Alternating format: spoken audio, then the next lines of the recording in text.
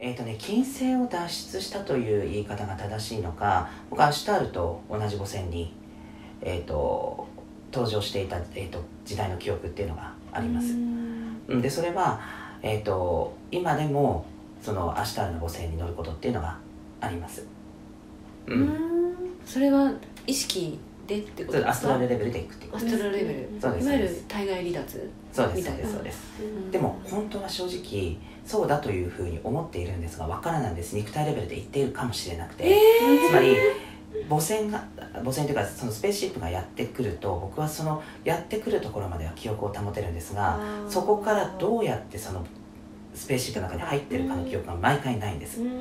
そこまでは明確にあるんです。やってくるところまでは。ものすごい光とあの共にやってくるんですけどそこまでは分かるんです。覚えてるんです記憶が。それ、ね、寝ている時じゃなく あ寝てる時にやってくることがあります、ね、もうもう嘘のような本当の話なんですけど自宅の横に スペースシップがこう 横付けする。本当に。横付け。車のように。本当にそうなんです。物理レベルで起こってるってことですよね。起こってます。だからこれ絶対に目撃まあ夜中ですけどでまあうちはそんなにこうそうですね。人通りとか車通りが多いっていうわけではないですけどもでもあれだけの光を放っていたら絶対に誰かが見てるはずって思うぐらいの光を放ってます。ええー、物理的に見える光。物理的に見える光です。だからもう外がものすごい明るくなります、えー、えそれで誰も騒がないんですか、だから絶対におかしいと思うわけですよね、えー、でそこまでは明確に記憶があるんですけど、うん、あとはスペースシップの中の断片的な記憶なんですね、でもそこで会う人たちがこの地上で見つけるってことがあるんですよ。ああ面白い。全然知らない人なんだけど例えばある人の名前を聞くでしょ、うん、あれでもこの人の名前に何だか覚えがあるな。でも全然わからないわけ、うん、でも知らない人なのに顔は覚えてるんですよ。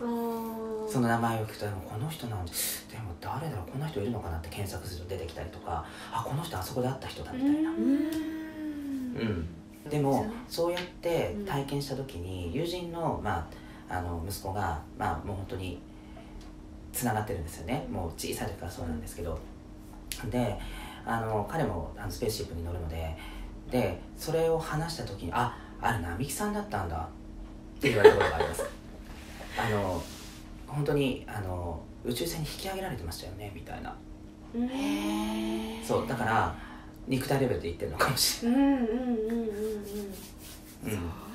だから昔子供の頃はよくやっぱりスペースシップに乗って戻ってくるとだから外で寝てるとかね。そういうのもありました。へえあの外でって家の玄関の前で寝てるとかね。へえ、うん、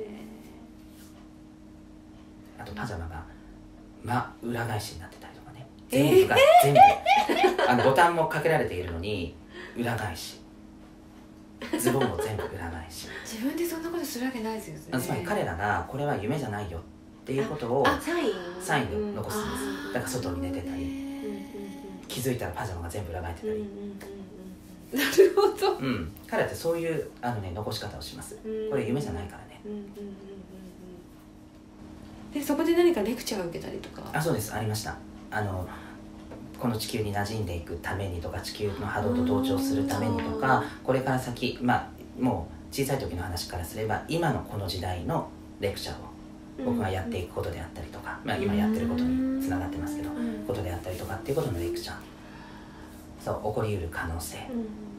ほど、うん、その、まあ、英知をダウンロードしに小さい時はもう本当にそれこそ僕も、うん、あの今の子供たちの中にもいますけど馴染めなかったので地球の波動に、だからもう年中だから具合が悪いですよね。